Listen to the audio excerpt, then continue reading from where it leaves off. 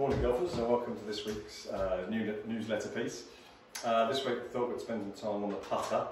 Uh, I've given a couple of lessons and played with a couple of people from the club of late. Recognise that there's uh, two or three things kind of missing in most people's putting stroke and therefore their results. and I'd like to give you my three main tips to help improve those, those areas. Uh, starting with the length of your putting stroke in relation to the distance the ball's got to go. So what I'm tending to see is an awful lot of people when they're making a putt of say 5 to 15 feet, their putter goes back an awful long way for the distance the ball has got to travel. Now what this tends to do is it, one,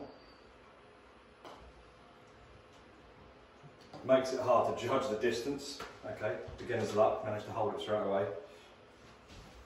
But as we move to longer putts as well, having too long a backstroke is generally going to cause a deceleration, a slowing of the head coming into impact. Otherwise, if we then suddenly do let that putter follow all the way through, we're going to hit it way, way too far past our target, or with too much pace for it to not take the, the break that we've planned on. So one simple tip, try and make your follow through 10% longer than your backswing. If you stick to that, now at first, because you're used to having a long backstroke possibly, you might hit it too far. So you're going to have to shorten the stroke either side of the ball.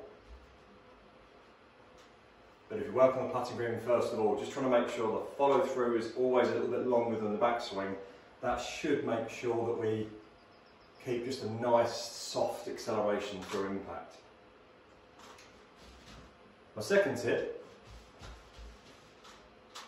is when striking the ball, really try and strike the ball in the middle of the golf ball, not the top half, not, not downwards, but right through the middle of the belly of the ball. That'll really get the ball rolling as quick as possible. The quickest you'll actually get the ball rolling is about 18 inches to 2 feet you, if you video it in slow motion, you'll actually see it getting backspin to start with, and then it starts rolling. But the quicker we can get it rolling, the better we can get it rolling, the more it's going to follow our line, and, and the better roll we're going to gain. And also helps contribute to that first tip of getting better distance. Okay. Now the third tip, these are all very important if you tend not to do them correctly. I'll bring you around here, which I'm sure you may have heard a hundred times over, probably even from me.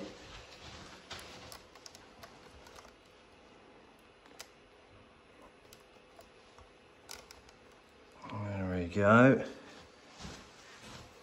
Hopefully you can see the line on the top of the ball here, but it's simply just using the alignment aid. And when I say use it, let's make sure we use it properly. A lot of people I see tend to use the aid, but it's kind of pointing, you know, way offline. Wherever we choose our starting point, let's make sure that black line is right on it. Not half a degree to the left or to the right, right on that spot. So we know then that all we've got to make sure we do is control that distance with that better length of stroke either side of the ball and strike it right out the middle of the putter face. That's all you've got to worry about. Whereas if you're standing over the ball thinking, oh, I'm not so sure if I've aligned this correctly, that's another bit of doubt that's breeding in your mind that's going to help it or make it very difficult for you to, to make a good stroke over the putt. Okay? And one thing that if you really struggle with this department, hopefully you can see nicely on the, on the camera there, is, is Callaway have now come out with a triple track putter. You can see there's a, basically three lines on top. You can actually get a triple track ball as well now. I'm still just using the basic uh, alignment aid here. But by having that, it really, really helps. One, the alignment of the golf ball. Therefore, also then the alignment of the, of the club face and really helps you with the path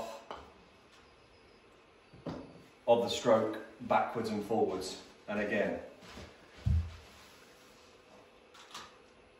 summarising those tips, making sure the putter is at least equal distance backwards and forwards either side of the ball, but if anything, aim to just try and get slightly longer follow through. That helps keep that just soft acceleration through impact. When striking the ball, we're going to try and strike the ball in the middle of the belly with the putter running very much level with the ground. And then three, using that alignment aid on top of the golf ball, but not just going through the motions. Make sure it's spot on. Make sure it's on your chosen line. Left flip, foot outside left, dead centre. Whatever it may be chosen as your line, this really needs to point exactly at it. And make sure you get that correct by running the edge of your putter, like you see the guys and girls on telly, running the edge of that putter down through your alignment aid, close one eye, and then just bring that up through your length of the putt and you'll be able to see where that's pointing exactly.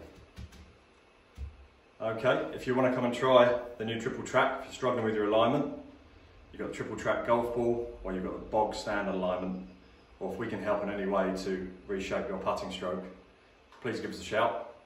Uh, we're currently got quite busy, so we're about a week in advance. Um, but yeah, give us a shout as soon as possible. We always get cancellations here and there, so always try us on the off chance if you are struggling. Many thanks, good luck with your golf, enjoy the nice hot weather, and we'll see you soon.